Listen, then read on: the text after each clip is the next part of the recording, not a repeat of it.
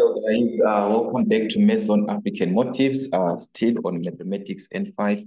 Uh, in this platform, we shall be focusing on the limits and continuity, which is uh, one of the most important part that you need to know in your syllabus. Uh, on question number one, uh, you'll be given such type of a question. So this is April 2020 that we're going to revise uh, from and applying uh, the rules uh, that we have when you're dealing with limits and uh, when you're dealing with uh, continuity.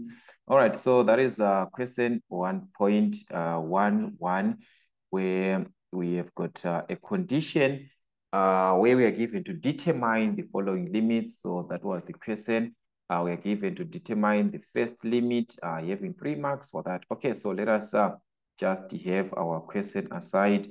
Uh, so this was the limit of so we are given the limit in this case of 9x minus 1, uh, everything over 3. Then we are given uh, the square root of x minus 1 like this. And we're given this limit is going to approach when x uh, is uh, at uh, 1 over 9. So x is actually approaching 1 over 9. So we know that uh, if we are dealing with limits, the first thing that we are supposed to do is to test the values that uh, the value of x that we are given for the limits when x is 1 over 9. So if you are to substitute here in place of x on uh, 9 here is going to be something like this, 9 by 1 over 9 minus 1, everything over 3, then you've got the square root of 1 over 9 minus 1. So this is the indication that you're simply doing on your calculator. Uh, this is going to give you a 0 over a 0 like that. So on the numerator, that's a 0. In the denominator, that's a 0. So if this condition is happening, that is when you substitute the value of x, you obtain a zero in the numerator and in the denominator. There you are supposed to apply the L'Hospital's rule. So in this case, you're going to apply l uh, L'Hospital's rule. All right, so this is what we are going to have in this case. So from this rule, what does it state? You're simply differentiating the numerator, then you differentiate the denominator as well uh, then you substitute the limits again. Okay, so let's see. Uh, we are going to have our limit as x is, uh, is approaching to 1 over 9. So if you are to find the first derivative with respect to x in the numerator, that's 9x, which is going to give us 9. Take note, this is just 9, guys. Okay, so it's going to be 9 over. Then we have got uh, 3 square root of x. Let's see what you're going to have. Remember, square root of x is same as to the exponent of a half. So this is same as 3x to the exponent of a half minus 1. So what is the derivative of 3x? Remember, guys, the derivatives that you multiply, then you subtract a 1. So if you multiply here, half times a 3, that is uh, 3 over 2. So if you are to find this derivative, uh, you're going to obtain uh, 3 over 2 in this case. Okay, so this is going to be uh, 3 We've got a 3 over 2. Then x, we subtract 1, which is going to be to the negative uh, 1 over 2. Half minus 1, that's minus 1 over 2. So this is what you're going to obtain uh, after differentiating this part, which is going to give us 3 over 2x to the exponent of a minus half. Then minus 1 is a constant just like the in the numerator. So that one is going to be a 0. Okay, so x is going to approach to 1 over 9. That means in place of x, we're going to substitute uh, 1 over 9 in this case. Okay, so let's see what you're going to have. So this is going to be like this. You're going to be have uh, 9 over. So this is 3 over 2. Then we've got 9. Uh, 1 over 9 actually. Yeah, so this is 1 over 9. Everything to the exponent of a negative half. Okay, so let's see what you're going to obtain here. So let me just share this whole screen so that we can see uh, the calculator here.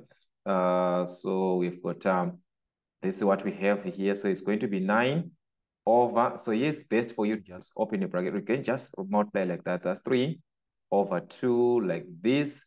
Then whatever that you have here, you multiply to 1 over 9 in bracket. So you can just open a bracket. That is 1 over 9 like this. You close the bracket to the exponent.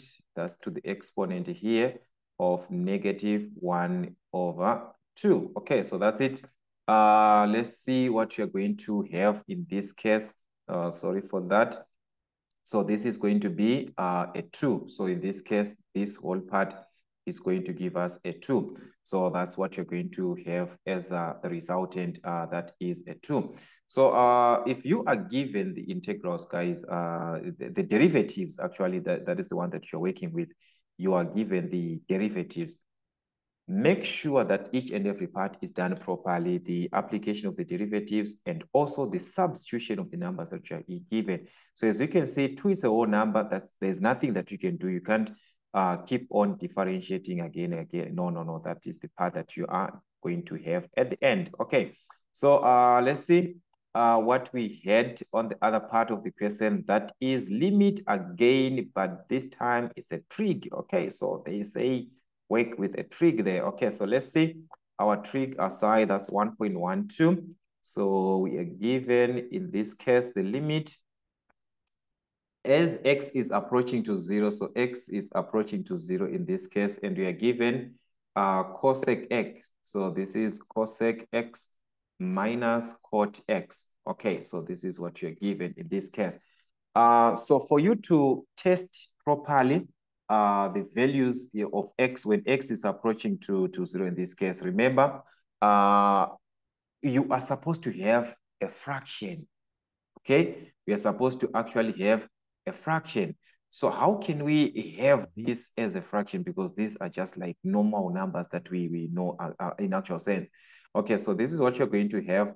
Uh, this is going to be limit x is approaching to zero. We know that cosec from our trigonometry, this is one over sine. So you're going to have one over sine of x minus cot, which is equivalent to cos x over the sine of x. All right, so this is what you're going to have in this case. All right, so that is uh, uh, this expression as a, as a fraction, but it's supposed to be a combined fraction, just like what we have, so that we can actually test what is happening if it is x over y like this. If you substitute, is it going to be infinity over infinity? Is going to be zero over zero?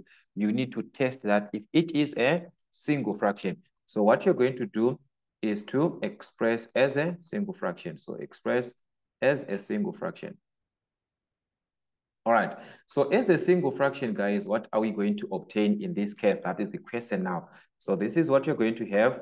Uh, we are going to have the limit as x is approaching to zero of, as we can see, the denominators here are actually the same. So we're just going to combine the numerators together. That's one minus cos of x. So we put one minus cos of x like this. So that's what you're going to have.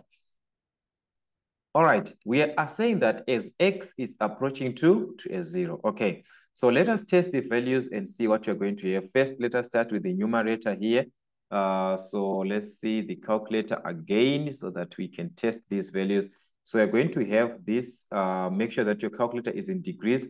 So that's 1 minus cos 0. So take note, this is cos 0, which is giving us a 0. Okay, so here we are going to obtain a 0 over sine of x, which is sine 0. So sine 0, guys, that's a 0. This one, you're supposed to know it, or you can just use your calculator sine of 0 like this. That's a 0. Okay, so we are going to obtain uh, 0 over 0. The moment we obtain this, we are back again to apply the L'Hopital's rule. Okay, that is differentiate both the numerator and the denominator at the same time. Okay, so that's what you're going to have.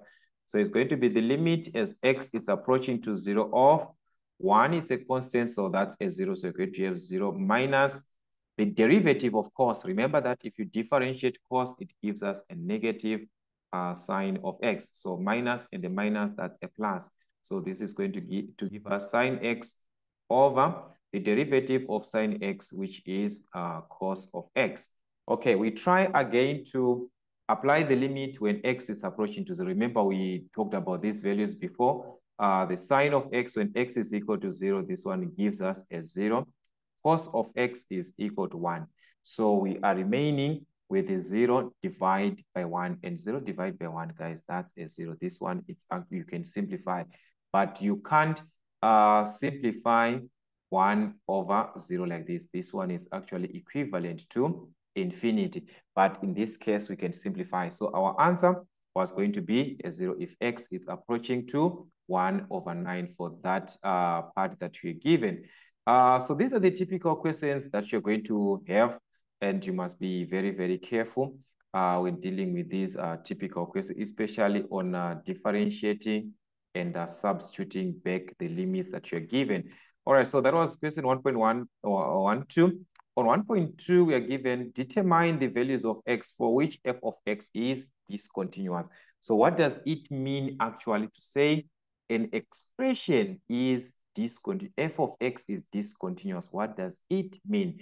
All right, um, let's start by writing the question uh, so that you can explain this part. Okay, we are given, this is 1.2, where we are given that our f of x is equivalent to x squared uh, plus 4x minus 12, and everything that we're given was over x squared minus 2x. So whenever you're given a, a consideration that the, the function is discontinuous, it means the denominator is supposed to be equal to zero. So in this case, our denominator is supposed to be equal to zero. Okay, so that's our denominator is supposed to be equal to zero. And in this case, our denominator is x squared minus 2x. So x squared minus 2x is supposed to be equal to zero. Do not consider or do not worry about the numerator. You are considering the denominator in this case. Okay, so that's what you're going to have. So as you can see, we have formulated an equation that you are supposed to solve. So how do you solve this type of an equation? You can factor out x because it's common here. So x squared divided by x, which is x, minus 2x divided by x, x and x will cancel. That will be minus 2 is equal to 0. So from the 0 concept, we know that each bracket is supposed to be equal to 0. So x is equal to 0 or x minus 2 is equal to 0. So that means x is going to remain as a 0 here. Or on the other side, if we transpose, that is going to be plus 2 here. So x is going to be 2. So these are the values of x that we have that will make this denominator be equal to 0. And by having this denominator being equal to 0, it means uh, this function is uh, discontinuous. So that's what we had, guys, uh, on the limits and uh, continuity. Uh, more to come from us on African Motives. Let us uh, keep on revising as much questions as possible. If you are, if you are new, you can consider subscribing so that you become the new part of our family and also to join membership so that you can access uh, other videos uh, and also uh, many questions from there if you're part of the membership family uh, that can actually assist you as you are revising uh, to have more questions and also to ask uh, other questions using this platform. So that's what it guys from Maths Zone African Motives. till we meet again.